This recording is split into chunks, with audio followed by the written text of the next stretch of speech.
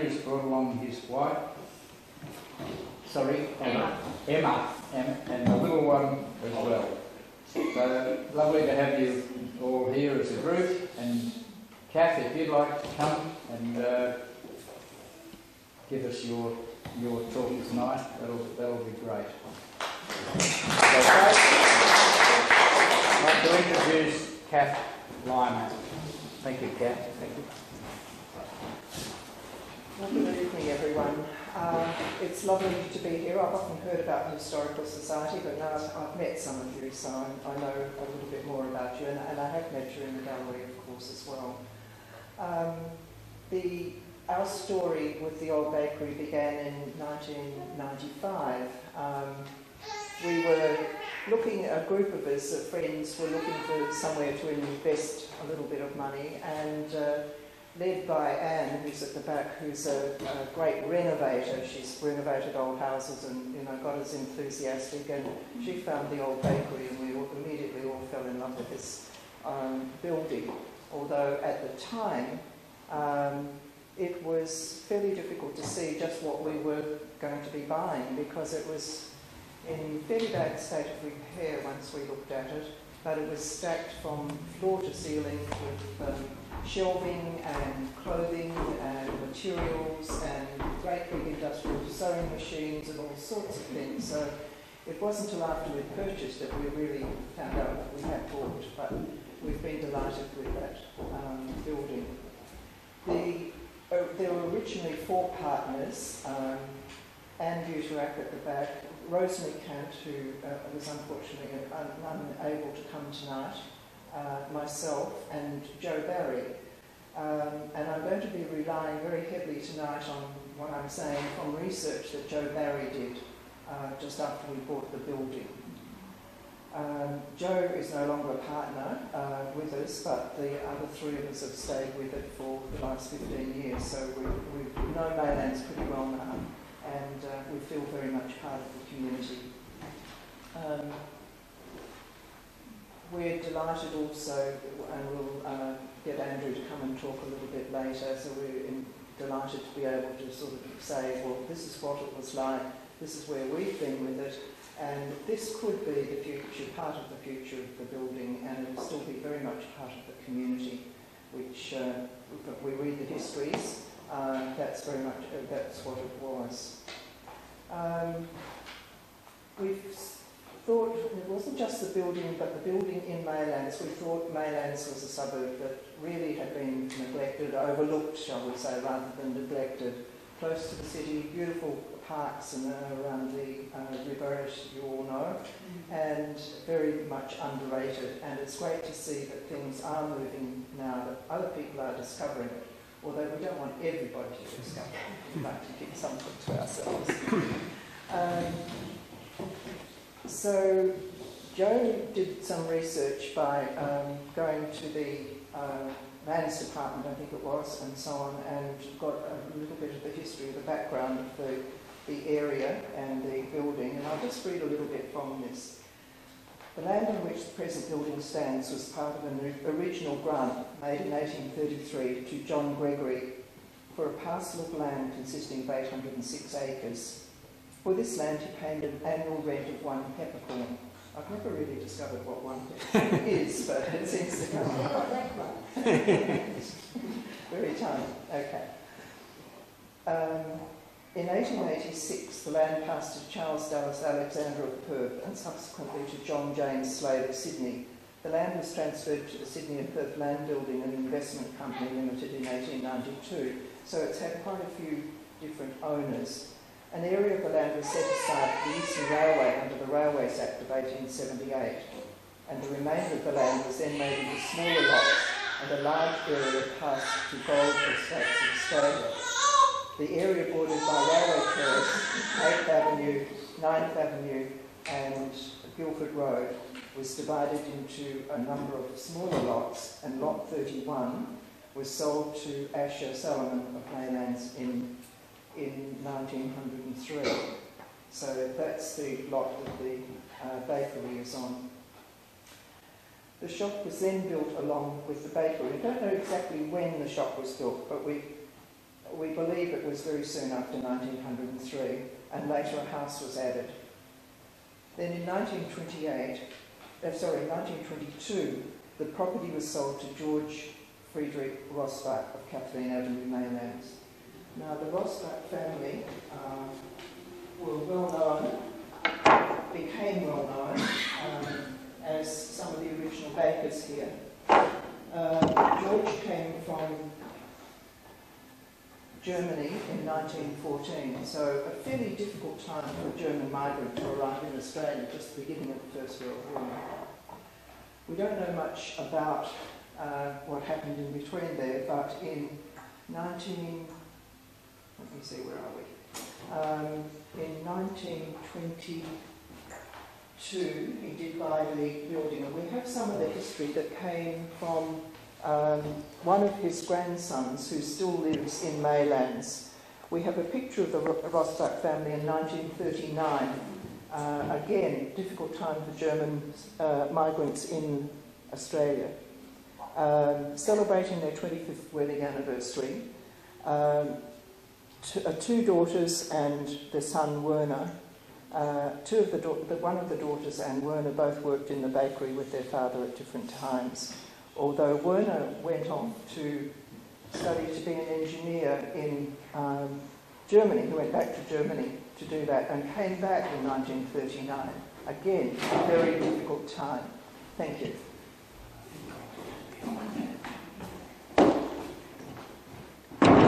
So George was a baker from 1922 until the war, and when he and Werner were interned. Move that over. Oh, okay. It might just work that way. Good. Okay. And you can all have a closer look at this later. Oops. Might be safe in that one, that's all. Thank you. Um, so George was the baker from 1922 to the 1940s when um, he and his son were interned on Rottnest. Now, uh, at that time, um, there was a lot of, quite a lot of antagonism towards German migrants, of course, and um, but there, a lot of the community community were quite concerned because they had been very much part of the community and were well liked. Um, and so there was, you know, sort of um, quite a lot of concern about what was happening at that time. But of course, with the war uh, and everything that was happening worldwide, uh, it was a, a difficult time for them. So he stopped being the baker there, but he still owned the building. and from there we find a lot of this information, by the way, that Joe uh, got together was after we bought the building, um, we had cleaned it up a little bit and were wondering what we were exactly going to do with it. And we put an advertisement in the paper to see if anyone could tell us any of the history because we were all interested in the history of the building. And we, I think we had 74 replies. So we were very impressed by that. And we invited everybody to come and have a morning tea in the old bakery.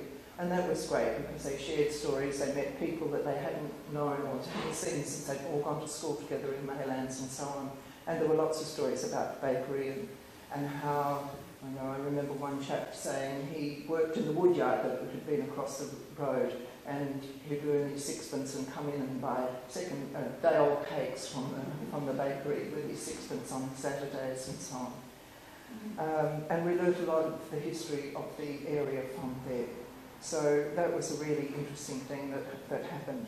And I find that when I'm working in the gallery, that weekly, every week, I've got somebody who comes in and tells me a story about the old bakery and having the old ovens still available at the, at the back was a great thing because people were very interested and would often go down and have a look and, and so on.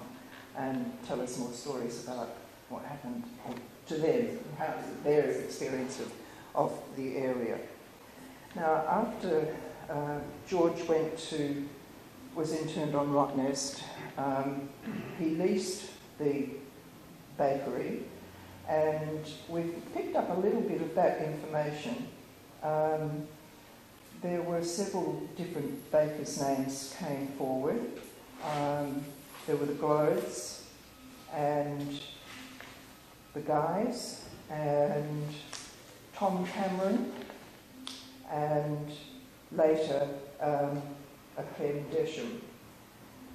So Tom Cameron came in about 1942 and I'm going to read from uh, his memoirs that he, he gave to he wrote for his son uh, before he died, and some of it refers to the old bakery. So he had been a baker somewhere else, and it was apparently in a, in a really bad building, and the water used to come up underneath it, and it was, you know, not the best place. So, but somebody found the old bakery in 8th Avenue, which at the time wasn't being used because George was had been returned.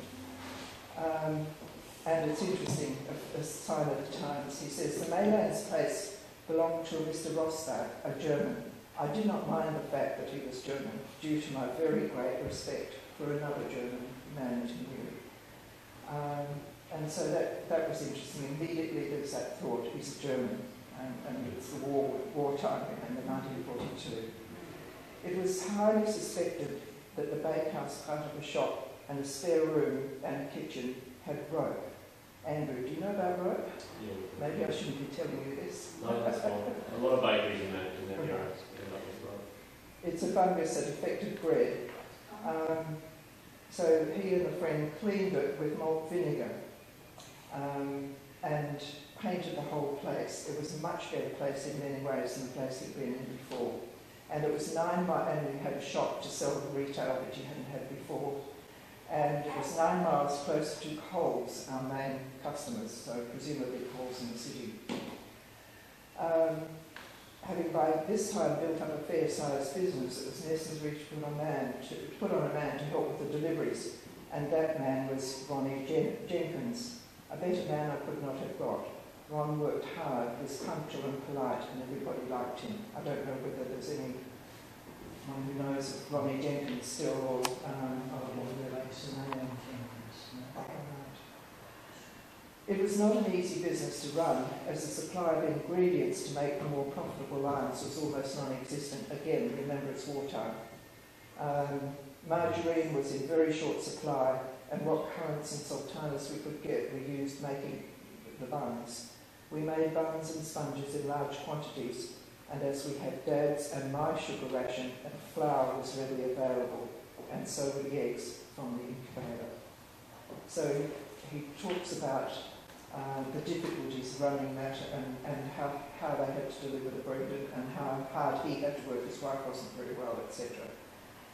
Um, during the early part of 1947, a man named Le Clem uh, who worked for one of the bigger bakeries, came and he asked him how we got such a nice bloom on all of our products. And his wife wasn't going to give away the secrets. And uh, um, Tom Cameron said if he ever went into his own bakery, then he would give him the, recipe for that.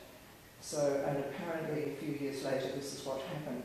Um, this Clem Desham came back, and uh, he actually bought the, the business from um, from Tom Cameron, and was then given this recipe, which we've got here, if you're interested. um, but anyway, so that was uh, an interesting little thing there.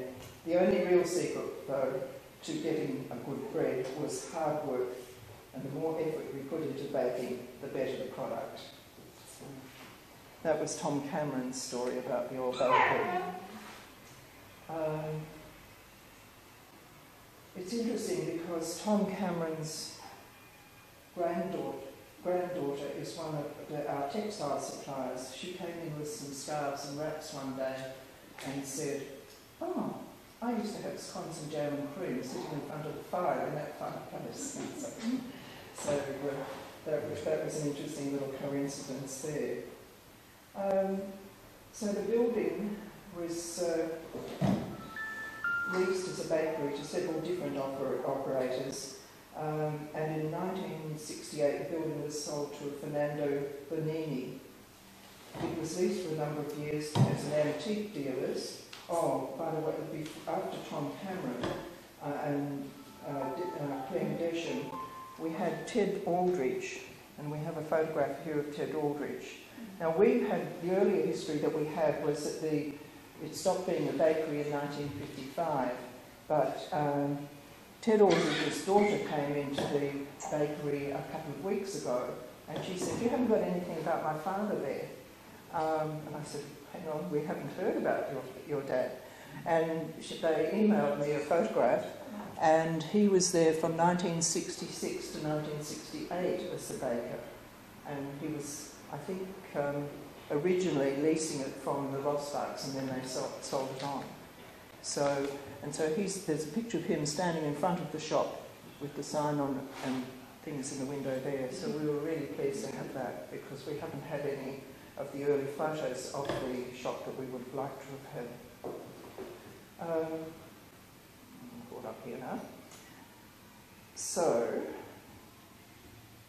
in 1995, the building was sold. Oh, sorry. In um, so it was a real estate business and other short-term ventures, being, and it was sold to Maria Magorio, Malo, sorry, Malogio, Maria Malogio, and she was the lady that we bought the shop from. Uh, and she had a, a clothing business and a plant business in the building. So in 1995, we bought the building, and we didn't know quite what we were going to do with it at first, but we loved hearing all the history, and we thought we would originally thought we'd just off, rent it out as offices, but we thought no, too good for that. And somebody came up with the idea of running an art gallery, and we were all in, interested in art, and we wanted to encourage local artists and, uh, and so on. And so gradually it grew as an art gallery. To get to that point, um, we, we have quite a lot of photographs. And do you want to add anything about the restoration and what it was like? Because you were heavily involved with that. Um, you can have a look, we'll pass these around and you can have a look at what the building looked like. Do you want to add anything there? Just a curious uh, question. Was that uh, direct shop uh, bakery, was that uh, bread from the shop or did they have uh, a round which they used to horse and sulky and then they come back to a motor vehicle Um, in that area?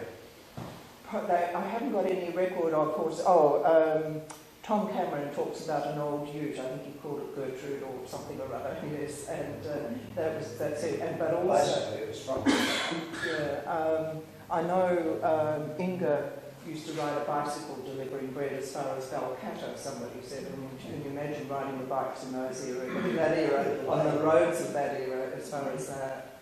Um, there were, and there was another bakery, uh, uh, Bride's Bakery in um, Whatley Crescent, I think it was, and he was one of the informants who, whether we talked to, uh, and he talked about using horse and cart to deliver bread and, and so on, and how the horse would know exactly which houses to stop at, and you know, on the round and, and so forth. And next door to the old bakery was um, uh, Watts's, uh, Charlie Watts, who ran the uh, a produce store, and he had lots of horses in the backyard apparently, and horse and cart to deliver things and, and so on. Of course, that's John K. Watts' grandfather, I think it was. Um, his daughter, granddaughter often comes into the, to the gallery and tells the stories about growing up next door and, and playing, um, you know, the, the kids playing, the, the, the kids and the, and the Watts kids playing together. And uh, she brought along a 96-year-old woman one day. Unfortunately, I, I haven't got a, a record of her name. I think I wrote it somewhere, but I'm not sure where. And she had actually lived in the, she wasn't, the bakery was still going, but they, uh, was living in the house. And she raised six children in that house apparently at one stage. So, as, as I say, every day I get these little stories that come along about people have connections them. Look, I'll just very quickly say that as you can imagine, the building was in shocking repair. Um, a third of the floorboards in the front room had to be replaced. Uh, you'll see some of the before and after photos in that long uh, folder uh, that we put together. Uh, I think it was for the City of Bayswater at one stage, a heritage grant, which at that stage we didn't get. But um, yeah, it had been sadly neglected. Um, we repaired every room just about. The only thing we didn't touch, and we must have known, was the oven. And you can see the in the right hand corner there. That's that's how it looked until about a month ago. And I think we should just move on to Andrew, who has just transformed that oven to just look magnificent. But yeah, the building has taken a lot of slow looking after. So, Andrew, I think it's time to hand over to you to tell us about what the future of this particular bakery might be.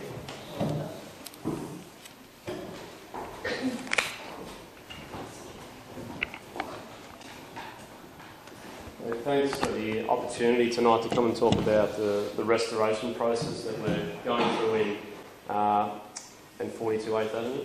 Um, I've been a baker for 18 years now and I've worked in many different aspects of, of the industry. Um, I feel that our industry is, is going in the wrong direction and, and has been for a, a long period of time now. So everything is quicker and, and faster and, and such is life. Um, to this day. So, uh, about 10 years ago, I got the opportunity to work at New Norcia Bakeries in Mount Hawthorn um, using their, their old oven, similar to the one we have in, in Maylands, uh, only twice the, twice the size. Um, during that time, I, I realised that we can make good bread to this day, and, and we can make it without using chemicals. Um, the, the bread that we made had uh, four four main ingredients. Sourdough culture, um, which is a wild yeast. It had flour, water, and salt. Um, then they would they put other added, additives to it, uh, fruits and nuts and, and, grains and stuff like that. Um, the bread that we buy from the supermarket nowadays has 13 ingredients. Five of them are natural and, and eight of them are chemicals. So the, the process to make a, a good loaf of bread um, with with that amount of ingredients obviously takes a lot more time and, and our industry at the moment is not suited towards that. Um, so my story sort of starts around that period. I've, I've travelled um, quite a bit and, and, been to a lot of bakeries. Every place I go, I'm, I'm looking at bakeries and, and stuff like that. Um, about two years ago, it'll be this January, I was driving with my children.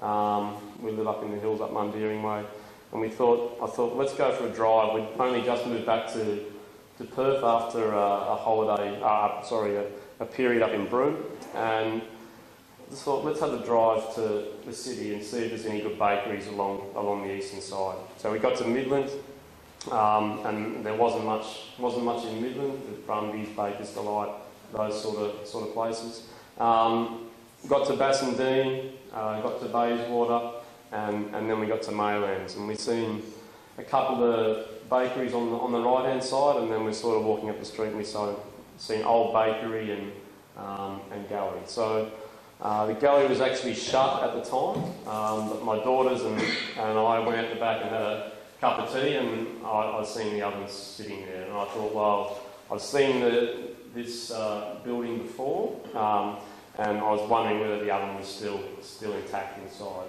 So um, a couple of weeks later, we all took a bit of a trip in there, and we ran into Kath and Anne in the in the back room, and um, they were conducting interviews at the time for a, a chef. So we said if we could come in and, and spoke to them and um, sort of approached them in, in, a, in a mild manner, said, would you be interested in, in starting it again? And they were umming and ahhing, and, and, maybe then they said, well, let's put in a proposal and, and see what see what we think. So um, a couple of months later, we, we come up with a proposal to, to what we would like to do and how we would like to restore the oven um, back to its back to its natural natural state, um, repair it. There's quite a bit of uh, structural work that we had to, to change on the oven, um, and it's, it's sort of gone from there. So about um, probably three months ago, the, the room got sort of closed off uh, the back room, and from there um, the restoration process started. Our, our process has, has been a, a long one. Um, at the, the stage we're at now, um, we have replaced all the, the tiles in the floor. The floor tiles were um, very porous and, and a lot of them were broken. We re-leveled the, all the sand in the floor. Um, my father-in-law and, and myself, my father-in-law's a big bricklayer. He struggled to get, get into the into the oven, but he got in there. He was very, very, very keen to, to get in and help. Um, so his, his help for that was, was fantastic. Um, so now it has a completely new level four with um, brand new fire bricks. Um, the whole face, um, you guys will see when you get a chance to come up later on, had, had mortar and, and plaster on, on one half of it. We, we pulled that back and basically discovered that the reason they put that plaster and mortar on was there was a massive big crack. Um, the place where that crack is, is, is just above here, and that's due to the heat from the, the firebox. Obviously, that's your hottest part, part of the oven, um, getting up to 500, 600 degrees Fahrenheit. Um, so once we once we taken that off, we sort of realised we had a lot more work to, to do. We thought it'd just be nice and clean, and we would continue on as as be. Uh, so what we had to do was basically knock the top the top section of the oven out, and it was all all freestanding. There was six different sections across the top of that, that oven. Nothing was tied into the chimney. Um, nothing was tied into to the right hand side wall as well. So we pulled the, the top layer off and, and basically redid, redid all the top using the, the original bricks um, that were suitable and we re, uh, resourced some, some other old uh, red bricks as well to, to make up the, the piece. Um, there's a bit of structural damage to the oven on the, on the right hand outer wall of the, the oven. This is obviously due to the, the firebox um, and the way these ovens are built. Um, is basically two, two structures. You have an internal structure and then you have an external structure above that. Um, the way they used to make them was they build, build your walls up on the outside um, and then you build an internal wall. Fill that internal wall with sand and then lay, lay your um, baking bricks, your fire bricks. From that stage, they would build a, a massive mound of sand into that cavity and then put your, put your roof on. So that was all brick done, and then they put mortar or concrete over the top, and then they dig that hole out from underneath from your door. Take all that sand back up on top onto your, the top of your oven to your roof as, as the insulation. There's about six to seven tonnes of sand above above this oven at the moment. So you can imagine we're a little bit sceptical getting in there to mortar and, and redo the floor with so much Sorry. Can you identify any of those fire bricks actually being made at Clackline? I, So I had a big uh, one for fire bricks and all that. yeah, I still have some of the, the remnants of them. Some I've kept some of them, so um, I, I can't actually identify. But um, I'd be interested if you you would be able to look uh, look into that for me as I well. think that's shut down. Has shut down as well. Yeah. So um, there was two different styles of bricks in, in the floor, which sort of surprised surprised me. Um, one was more of a white a white fire brick, um, and they're about 30 by 30, so they're a good sized paver. Uh, and there was also the, the red sort of clay clay one. So um, the reason we had to redo the floor was it was it had had water damage over the years, mainly at the back area. A creeper or, or something had got in um, and had a bit of water damage and washed a bit of bit of sand out. Uh, our, our other reason for for removing the, the floor, I guess, was to be able to bake the traditional way, no tins, no trays, bake it straight on the on the hearth of the oven. Uh, it's it's a method that doesn't get used all that much. It'd be it would be the only oven in in Perth that would bake bread using that method. So we're pretty excited about that. Um, and getting back to um, the structure of it, um, so that you can see just at the top here, there's a little little door where they used to shovel the sand up up into the top and, and insulate it that way. Once the, that roof part is done, then they build the, finish building the external structure and, and finish the wall. Um, it's tied together by um, eight rods, um, two four leading from front to back and four leading from um, the two sides. They're all tied in with these large metal bars here, um, and that basically keeps the, the, the thing in structure, yeah, nice and safe. As you'll see on the photo, there's a big crack near the near the flue on this side. Um, of the chimney is on the left-hand side. Your firebox is on the right-hand side. We light our fire in this one here. It licks up over the top of the oven and then out our chimney on the on the left-hand side. Um, there's many. There's probably three or four different methods of of um, heating the heating these ovens. The, the modern ones nowadays have their fire on the floor in the centre here. Um, there's also a French um, style oven that has a firebox here, which to me is not all that smart because you're working right in front of that, that heat all, all day. So, but it's, it's definitely another, another method. Um, we're at the stage now where um, the whole oven doors uh, are just about restored back to as new as we can get them. Um, they've been cleaned up, um, wire brushed back, and, and brought them back to a, a lot of the original metal. Um, all the paint has been taken off, so it's all back to the red, the traditional red style brick. Um, the mortar or the, the cement in the um, in between the, the bricks was, was very brittle and a lot of it had broken away um, over time. So what we've done is, is basically gouged all that out and, and repointed the whole, the whole face of the oven to give it a nice, a nice finish. Um, so the next steps for us today, um, the building, the, the, the, oven room is, was clad with asbestos. We've had that removed um, and we're working on that room at the moment today. I had my two brothers, um, both from Victoria, over helping uh, plaster that, that wall up. They're both bakers as well, so it's, it's ingrained in our family and, and I'm sure it will be for a, for a long time. Um, we plan to have two rooms. At the moment, the, the red room of the gallery is, is still being used uh, for the final exhibition, which is uh, probably a sad time for the, for the ladies, um, but also an exciting time for, for me as well. So um, once we finish this room, I think October 16, we, we plan to, to move into the next, the next room.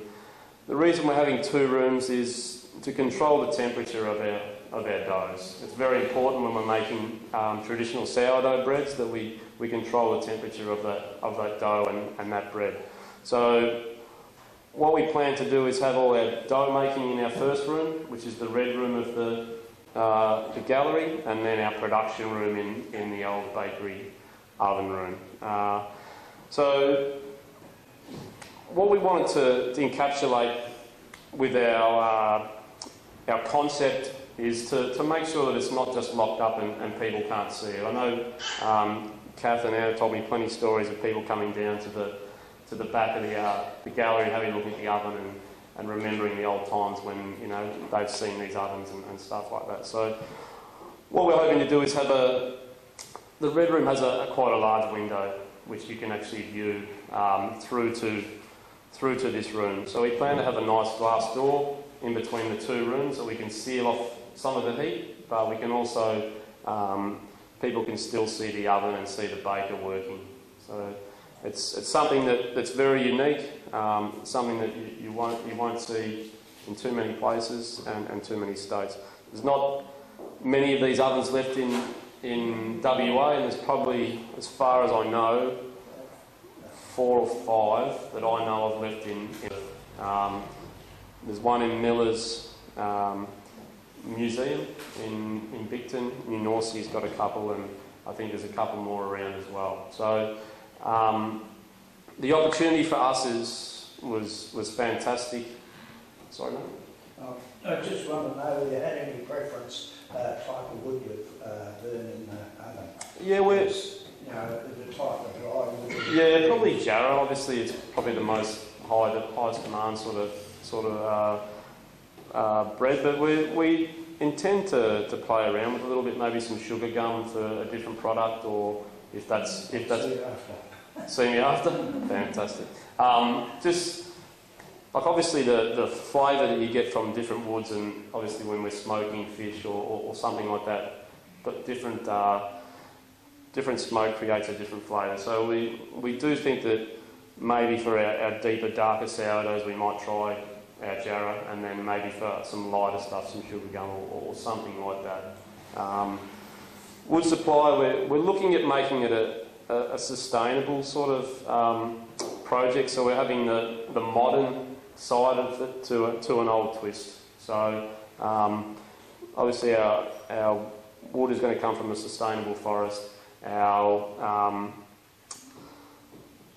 our power is going to be green power. We're, we're trying to make a, a bit of a statement as well to say that, look, you know, to, to industry and, and to the, I guess in a way to government as well, that there's not many incentives for government uh, for businesses to turn to solar power or, or green energy now. But two, three years ago, there was grants given out um, for converting to solar power or stuff like that. Now that's all that's all changed. At the moment, there's nothing available for any business to um, in, in the way of grants to to help, you know, or, or try and make a difference. Um, so yeah, I think we're getting to towards the end. Um, our bread's going to be sourdough, um, majority of sourdough, um, traditional methods, taking up to 12 hours to make, make a loaf of bread, some 24 hours, uh, depending on, on the recipe and depending on the method.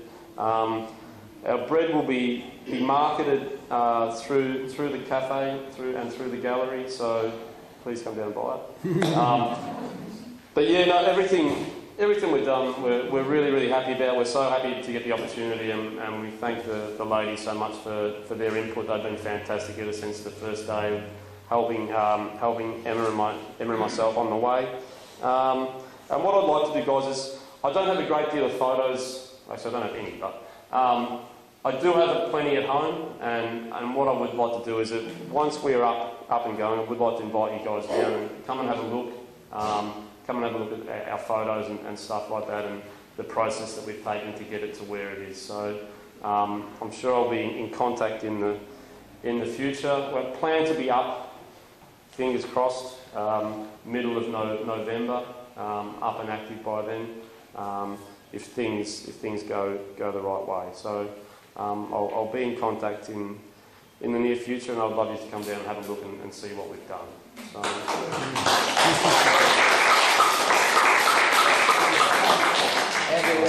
that was fantastic.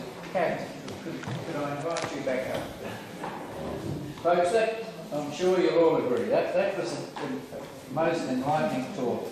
And it's so, this group really wrapped in, in the history of Maylands, the old buildings, and this talk tonight has just been fantastic. And we wish you all the very best, Andrew, because, you know, something like that is, is so unique, will be fantastic for Maylands, and I'm sure you will get the support of our group who, uh, who just love old things anyway. But, uh, love to see that, uh, that uh, yeah, oven working, and, and absolutely. it, it really is. Oh, I'm terribly impressed. Now, Kath would like to make a small presentation to you.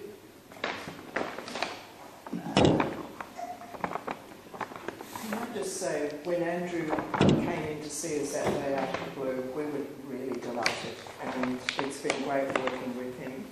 Um, we're able, hopefully, to keep on working with him and, integrating the gallery, the cafe, and the, the bakery all together. And it, I think one of the nice things is that it, it increases the amount of community involvement in, for, the, for that building. It's had a good history of community involvement, and I think it's going to continue. So it's just great. Wonderful. Kath, thank you very much. Folks, you of course know, in that building, Kath and Anne run a gallery and a gift shop that uh, there's some wonderful gifts in there. So please, uh, if you're uh, looking for something, not only go and look at Andrew baking bread, but have a look at the gift shop and the gallery as well, and the cafe, of course, that all runs uh, in conjunction. So thank you so much. Thanks. Uh, and Andrew, I don't know whether you No, that's fine. drink wine or whether you like chocolate I don't mind. or Emma. I don't mind. You, you, You, you, you tell me. Because we've got a little bag of you put it in the raffle. We can have, no, we have a white wine or red wine or a box of chocolates. Um, you know what? Just, I think leave it in the raffle. I'm happy with that. So, thank you. Well, thank you. No worries. Thank you Thank you, both guys. very much.